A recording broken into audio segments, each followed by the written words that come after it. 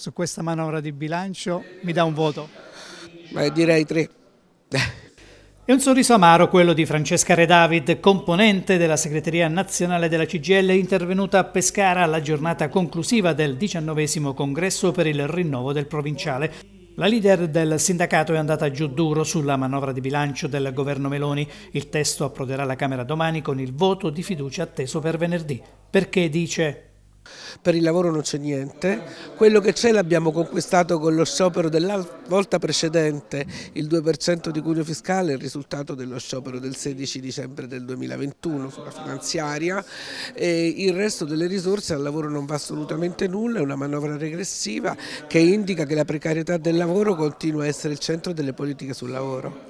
Altre priorità da affrontare, il reddito di cittadinanza che verrà rivisitato nel 2024 e l'inflazione che erode pesantemente i salari. Come difenderli? Lo Stato il reddito di cittadinanza è oggettivamente una misura contro la povertà, per sostenere, non contro, per affrontare la povertà come c'è nel resto d'Europa e del mondo. Mancano politiche attive del lavoro che accompagnino al lavoro, anche però su quello è inutile pensare di, che lo risolvi mettendo le persone in formazione, metti le persone in formazione se dopo hai dei posti di lavoro dove mandarle, se questi posti di lavoro non ci sono il problema esiste, l'assenza di politiche industriali e di politiche sul territorio fa mancare l'anello più importante di questa catena. E il governo avrebbe dovuto fare una riforma fiscale che aiutasse a sostenere i salari, questo non avviene, appunto quello che c'era, quello che era già stato ottenuto, mentre si introduce un'ulteriore aliquota con la flat tax al 15%, ma non per il lavoro autonomo povero, ma per i liberi professionisti, forse non, non erano questi diciamo, i soggetti più a rischio.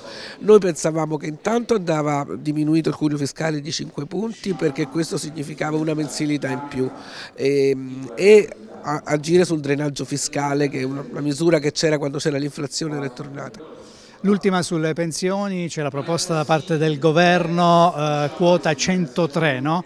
Vi piace? Che cos'è che non vi piace? 103 significa avere insieme 62 anni e 41 sono poche migliaia, credo che queste poche migliaia siano eh, uomini del nord, non credo che né nelle donne né nel sud ci siano queste condizioni se non dei casi assolutamente, eh, è una cosa ridicola, si è passati da quota 100, 101, 102, 103 e si continuano ad offrire dei grandi tavoli che poi non si aprono mai.